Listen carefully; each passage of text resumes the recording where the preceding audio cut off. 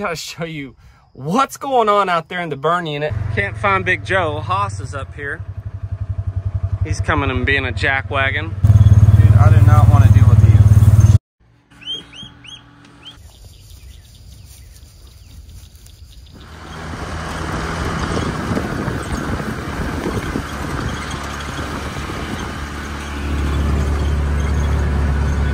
Hey guys, welcome back to Cross Timbers Bison. We're checking some of our bison that uh, a lot of you guys miss seeing. We're gonna show them to you today. Plus, we've had an explosion of babies, and I mean, not just red dogs. Can't wait to catch you up on. I wanna thank Sunday Lawn Care for their support to our ranch and family and sponsor today's video. Hope you guys are ready to buy some ranch with us.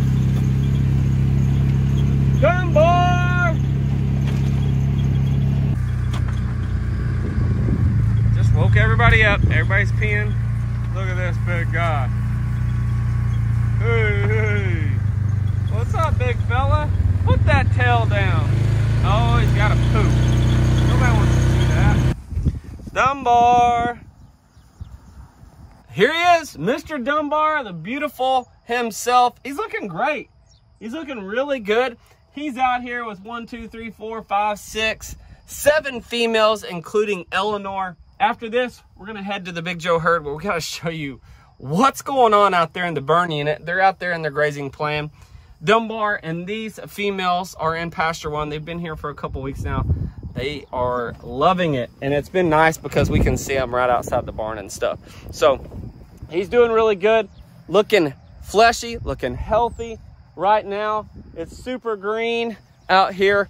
Lots of spring grasses. Those warm season grasses, which what I like to call our native grasses, are creeping up. Many of you have been asking about Dunbar. He's still here. He's still hanging out at the Ponderosa for now. Something also is all of the white tag females that we have, which is South Dakota ones, and the Wolverine females, the double yellow tags. All those babies right now, we're gonna go show you in this baby explosion out in the burn unit. So many babies. A lot of those are his. They're gonna be either Haas or Dunbar out of all those females. So if you see a double white tag from South Dakota or a double yellow tag from the Wolverine bison, those are gonna be primarily out of him and Haas because them two were together last summer during breeding season.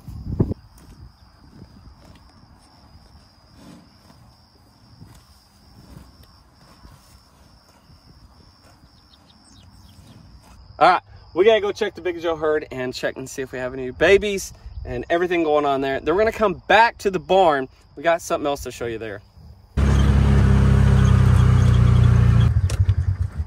Eleanor, girl. Hey there, beauty queen. Uh, Eleanor's doing good. She's out here with the Dunbar herd, hanging out in this beautiful pasture one.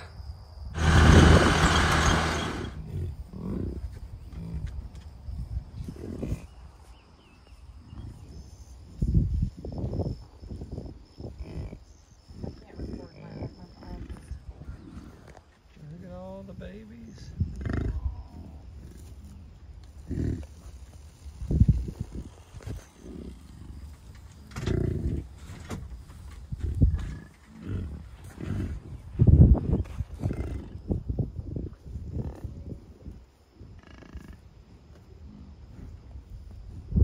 How many babies can you see in this picture? One, two, three, four, five, six. Yeah, there's a bunch. Looks like another case.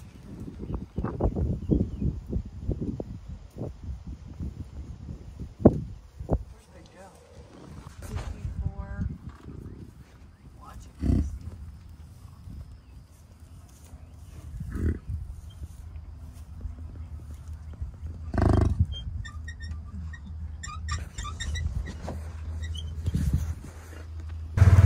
All right, this is weird. Can't find Big Joe. Haas is up here. He's coming and being a jack wagon, but I lots of red dogs. I see another cow rolling in. That'd be 31. Got all of our babies, I believe. Do not know where Big Joe is. He's usually with them. Not a problem. Here's a cow by herself.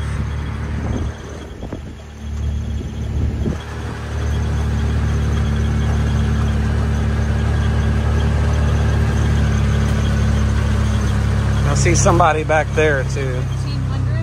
1500. She's fine. She's okay.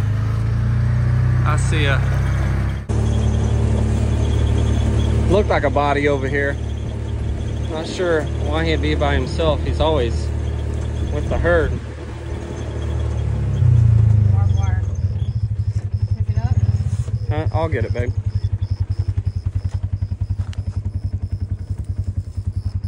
Come on, Jackie.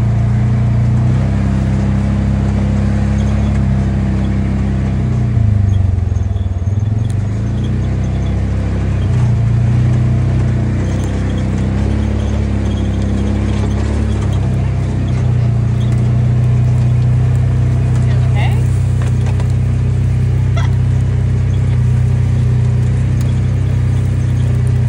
Bessie's just eating. Big Joe. What are you doing, buddy? Just eating. What are you doing? what do you want?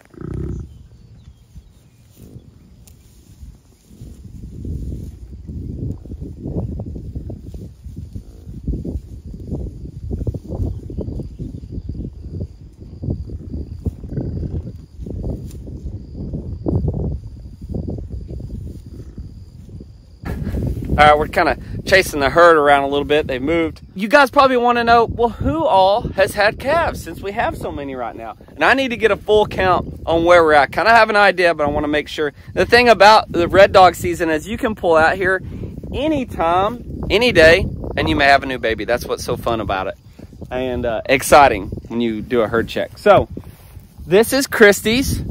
Um, over here, it looks like the jumper. We've got 54.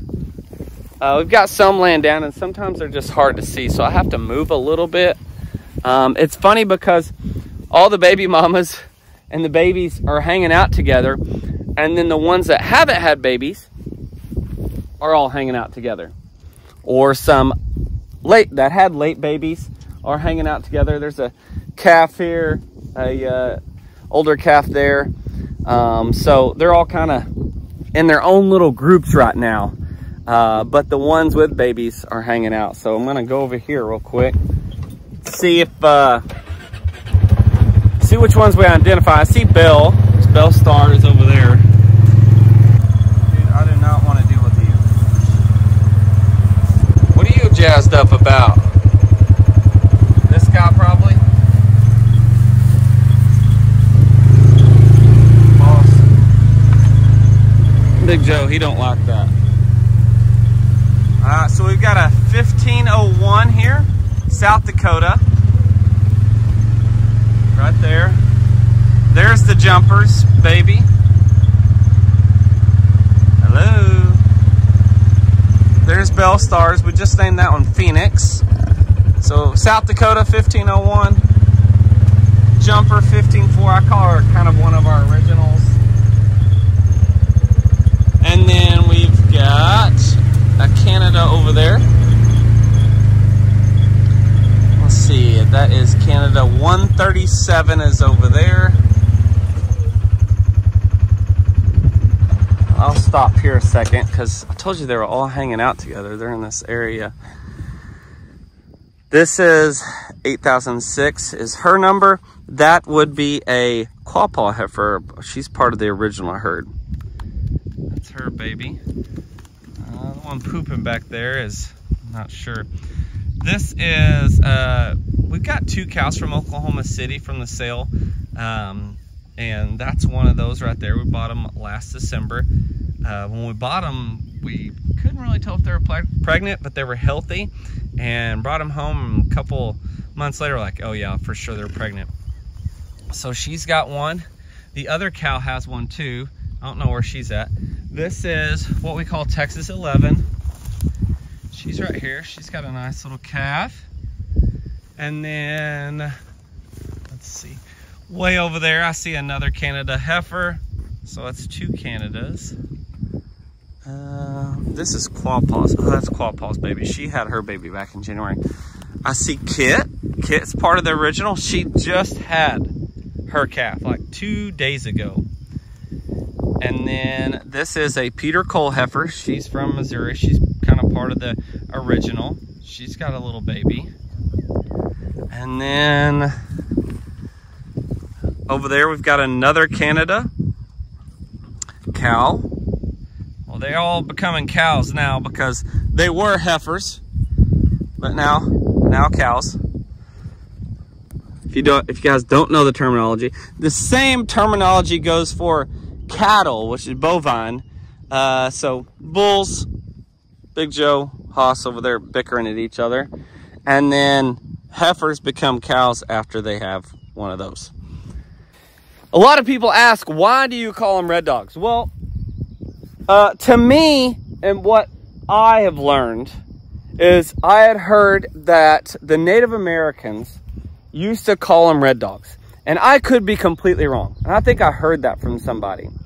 But they call them red dogs because when they're born, right, they have this unique red cinnamon color, like they do right now. And they look like a full grown red dog when they're born. So they can be, when they're born, they're anywhere from 30 to 50 pounds, somewhere in that range. It's like a full grown dog that's been born. And they called them red dogs. So that's where the term comes from. You guys can back me up. Let me know if you can do some research on it and find something that I don't know. Teach me something. Um, but that's the term that I like to use, and that's the term that I always heard that it is. All right, I got another one for you guys. How many calves can you spot in this picture? Told you they were hang all hanging out together. One, two, three, four, five, six. She didn't have one. Seven, eight, nine, ten, eleven. See 12 over there.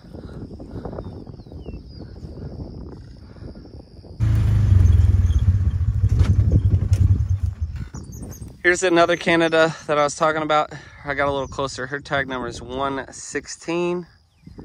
And then we've got the, know who this is. Hey guys. Peaches had her calf as well. See where, I think that's Peaches right here. This must be Peaches. Can't see her tag number, but she only has one tag in here, in her left ear.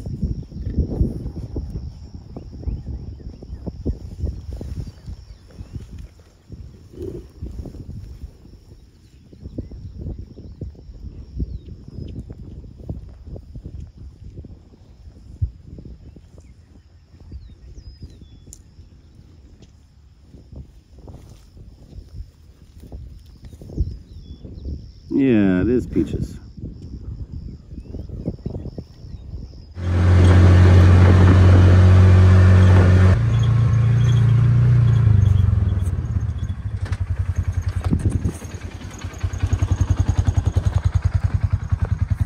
Come on, Jackie!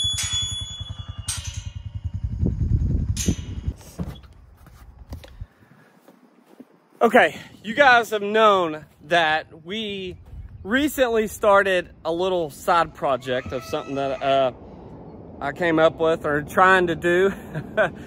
so I want to try to do something. I want to try to start a conservation or maybe a population enhancement. I'm not sure the right word for it. trying to bring something back to the Ponderosa that's been missing and I've never seen before. Uh, it's actually missing in Oklahoma, a population decline for this species. We're gonna try a little project and we're gonna keep you guys along with us on this. So uh, let's go in here and take a look. But before I do that, I gotta do a couple little things. Gotta knock off the to-do list. We gotta go to the backyard real quick.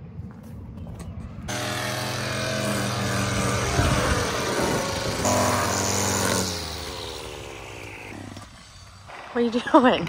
Trying to pretty up this yard. Manicure it. Make Mani it look pretty. Manicure it? This is Brooks's hangout spot now. Hey, girls. I think this is pretty much the only place at the Ponderosa where bison don't graze. Yeah. Wouldn't that, wouldn't that be right? I think so. This little spot here, this is a, this is the place that we like to hang out uh, with our friends, family, or whatever. Brooks plays out here quite a bit. It's a nice little yard. It uh, needs some work. Sit here and watch the bison. Uh, the Dunbar group is out here right now, and looks like bullets out there currently rolling. Probably something dead. Probably in something bad. Oh, gosh. Come here, bullet. Bullet! Come on, Bullet. So I'm just trying to pretty this yard up a little bit.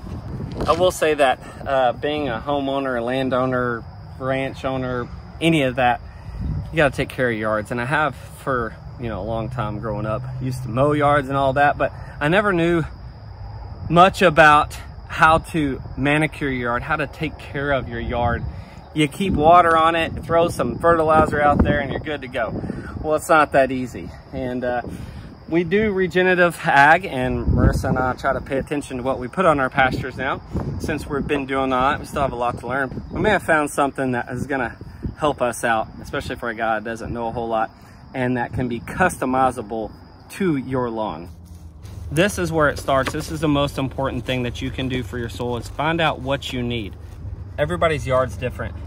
But the most important thing is to start off knowing what is in your soil and go from there.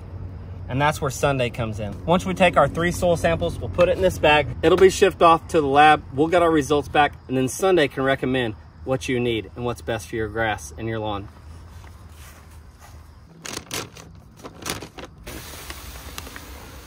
We've got our seed and feed ready right here in our spreader. In this mix, we've got fine and tall fescue, perennial ryegrass, and Kentucky bluegrass. Also in this is our feed. So we're gonna put some of those micronutrients back into our soil to get this lawn in shape. Got bare spots? Seed and feed can fix those bare spots for you. We just scratch the surface a little bit with a rake, use our spreader, and it'll get in some of these bare spots and get that grass growing and not those weeds. Sunday Lawn Care will send your products that are customized for you, your family, or your needs straight to your door. Once you've done your soil test, you know what your soil needs. It's important. That's what Marissa and I do even out on our pastures for our bison. With the fertilizer here, you're gonna put those macronutrients back in your lawn, back in the soil, which is important no matter what you're growing, whether it's grass, vegetables, or flowers. One of the cool things about Sunday that they do is really special to us is take a look here. 1% of every purchase goes restoring the tall grass prairie through 1% of our planet. You guys see what that is right there? No harsh chemicals, powerful ingredients backed by nature. Designed with safety in mind, better for people, better for pets, better for your farm animals, and most of all, better for the planet. Take the stress and worry about what is needed for your lawn to make it look better. Sunday Lawn Care can take care of you. Visit their website and then get a customizable plan for your lawn and it ships straight to your door. I purchased six Rio Grande turkey eggs from eBay. Unfortunately, only three out of the six hatched. They check for fertility before they actually send them to you. And that's just how it goes sometimes. But I kind of knew going into it, there's always a chance of them not hatching. Let me go back a little bit. One of them was cracked when I did receive it. I knew that that one wasn't going to hatch. So really, I'll say we were three for five.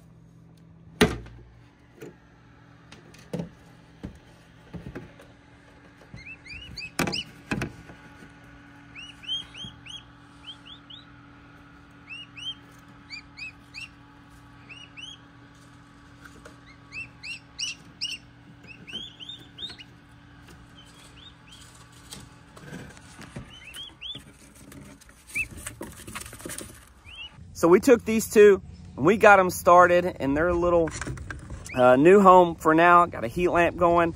And then we left the one, that one had just hatched that morning, but the others hatched several hours before. We like to leave them in the incubator for a little bit just to acclimate to their new environment and stay warm in that humidity and then slowly transfer them to their new home. So that last one we left in there a little bit longer. And by the time Brooks got home from school, I'll let her move it in with the other two. Go ahead and grab him. Grab him. I'm trying to. Just reach in and grab him. please. Easy. Okay, take a nice soft, soft step down. Daddy. Okay. There's the other two. Okay, just put him in there nice and slow. Put him in front of that heater. There you go. Good job, Brooks. Now he's got some compadres to be with. Oh. Oh yeah, he's doing good.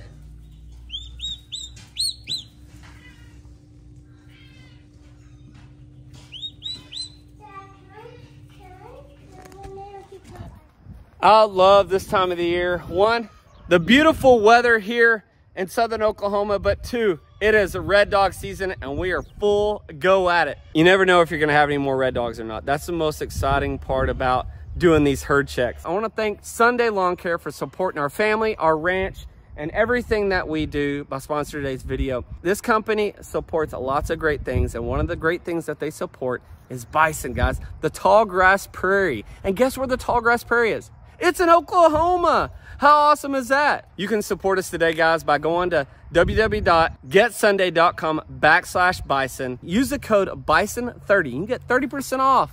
30% off your very first custom lawn plan, all designed for you.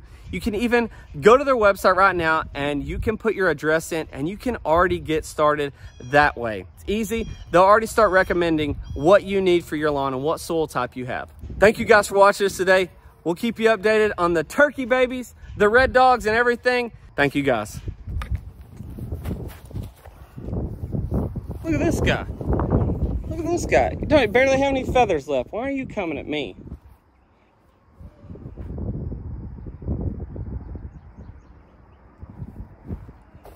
Mottled Houdan. Really? Why do you always do that to people when they turn their back? There you go, Silky. That's what I'm talking about. Jeez, these guys. Look at this beauty.